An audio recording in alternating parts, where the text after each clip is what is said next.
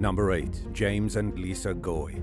A long-standing dispute between 47-year-old Jeffrey Spade and his neighbors James and Lisa Goy came to a deadly end after a brutal winter storm in early 2021. According to news reports, the Goys were shoveling their parking spots and dumping the snow across the street on Spade's property. Spade went outside and asked the couple to stop, and a heated argument quickly broke out. Surveillance footage showed the two parties hurling threats and insults at one another, with James Goy threatening to make Spade's life a living hell. The Goys continued to taunt Spade until the moment he pulled a gun while walking toward them. James yelled at Spade to put the gun down, but instead, Spade began firing at the couple, striking them both and chasing after James as he tried running away. In the video, Lisa could be heard saying a final F you to Spade as he continued shooting her in the middle of the street. After emptying the gun, Spade went back inside his house and retrieved an AR-style rifle. He mercilessly fired bullets at the couple before saying, you could have kept your mouth shut and running back inside. Police were just arriving at the scene when they heard a gunshot from inside,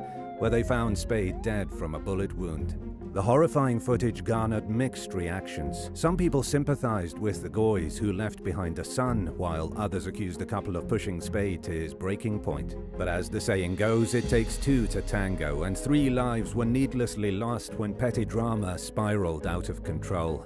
Number 7. Aaron Howard in a shocking act of violence that was captured on camera, 37-year-old Aaron Howard was shot to death outside his home in Abilene, Texas during an argument with his neighbors in 2018. The deadly disagreement started out as a petty spat days earlier when Howard put an old mattress in a dumpster outside their apartment building. He found the mattress back in his yard the next day, so he returned it to the dumpster. His neighbor, 67-year-old John Miller, threw the mattress back into Howard's yard. It's unclear why Miller had a problem with the mattress being in the dumpster, which was where it was supposed to go. A confrontation between Howard and Miller quickly escalated into an aggressive shouting match. Footage recorded by Howard's fiancée, Kara Box, showed Miller threatening Howard with a pistol. Moments later, Miller's 30-year-old son, Michael, appeared with a shotgun. Howard yelled at the pair to put down their weapons, but the fight only became more heated. In an attempt to de-escalate things, Kara tried to get between the two parties, but the Millers opened fire on the couple, fatally striking Howard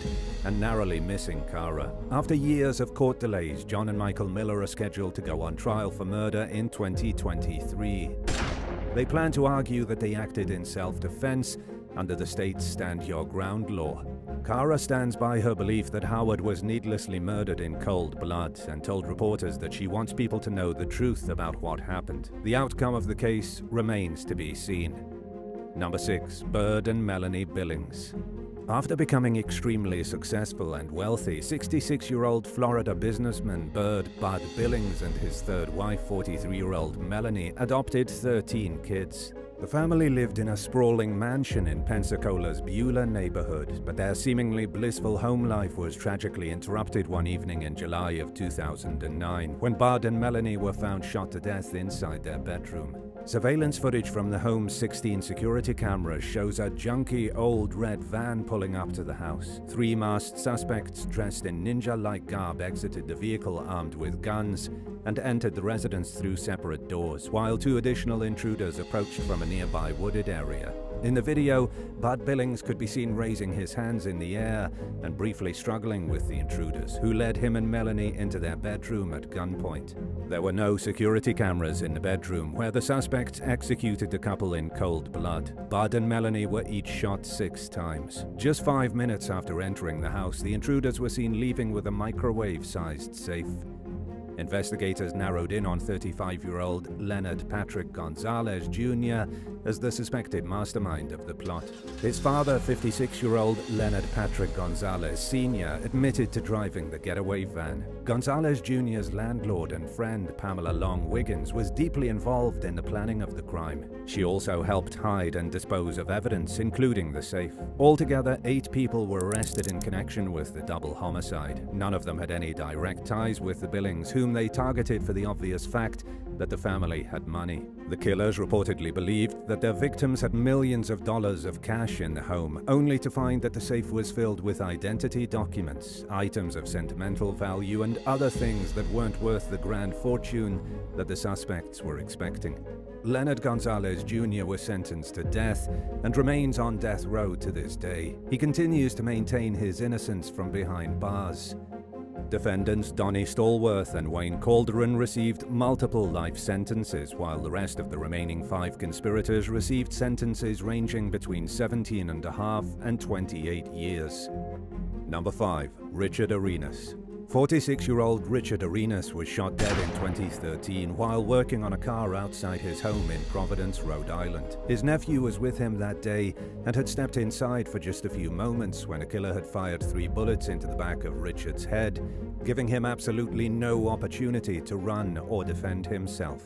Surveillance video from around the neighborhood showed a man with distinctly patterned shorts walking around the area shortly before Richard's murder. Later identified as 19-year-old Judia Dixon, the suspicious individual could be seen walking up to the victim's home to watch what was going on. At one point, the suspect left the home and returned with his hoodie pulled up over his head to conceal his face.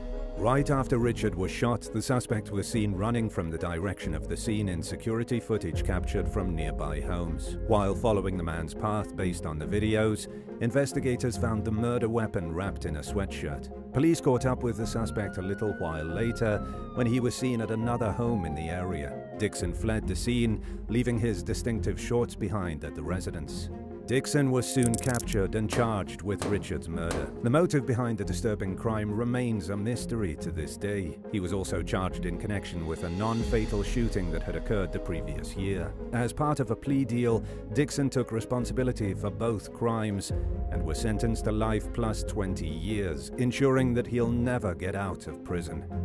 Number 4. Andrew Jenachek 27-year-old Andrew Jenachek was shot dead in a parking lot in Edgewater, Colorado in April 2018 while picking up dinner for his girlfriend. Witnesses reported seeing the shooter leaving in a getaway car as Jenachek lay face down on the ground, dying from a single bullet wound to the chest.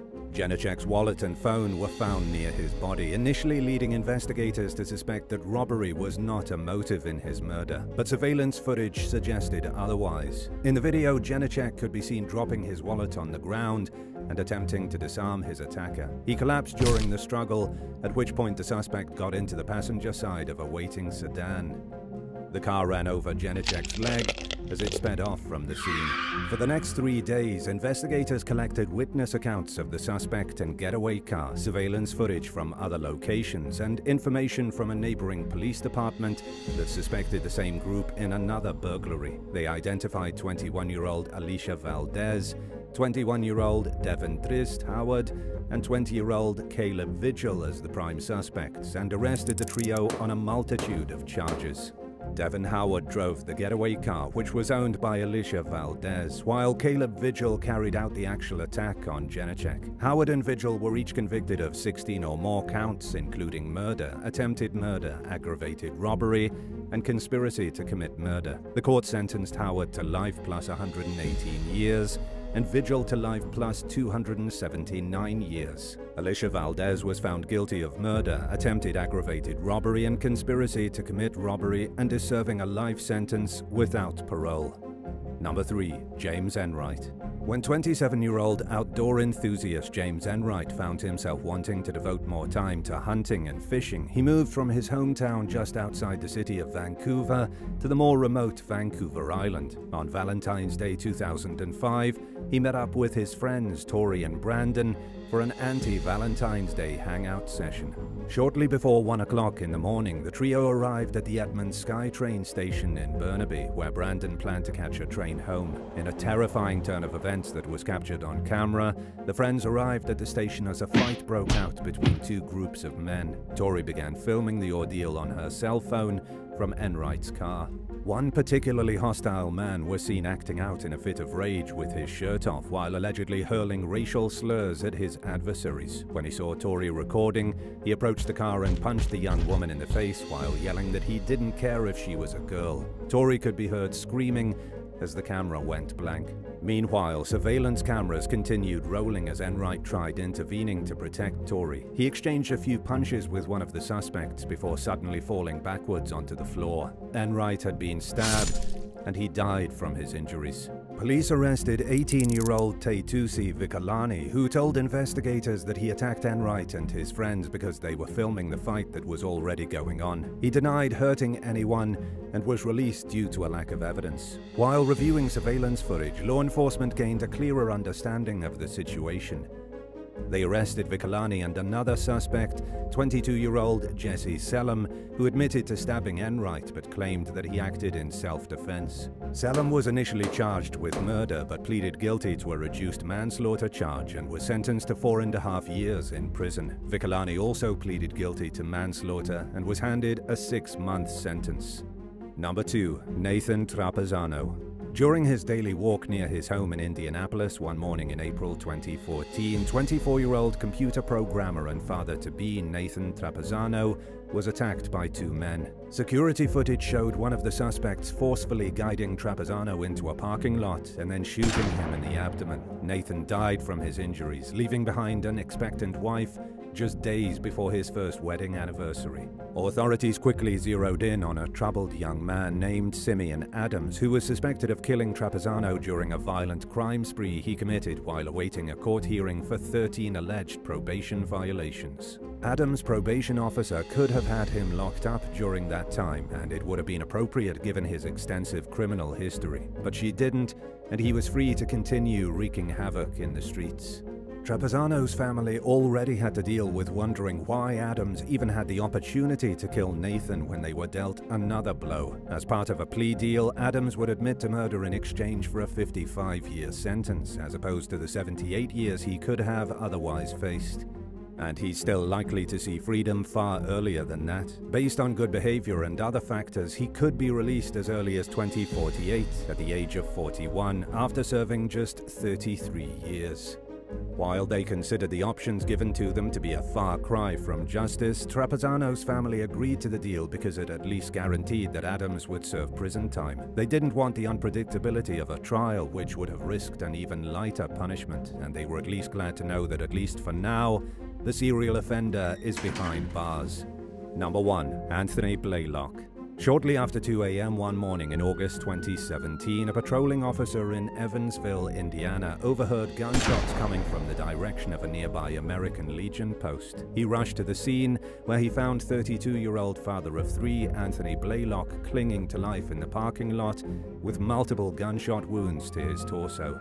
He died on the way to the hospital. Three other gunshot victims at the scene survived their injuries. Court documents state that police tried interviewing around a dozen people people who were mostly uncooperative, but a few people were eventually willing to talk.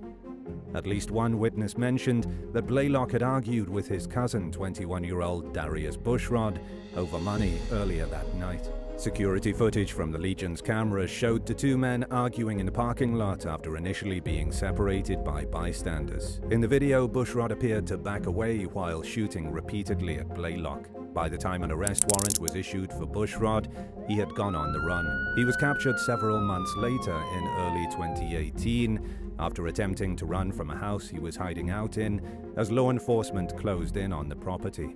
Bushrod was convicted of first-degree murder and received a 75-year prison sentence. If he lives to see freedom again, he probably won't experience it for very long.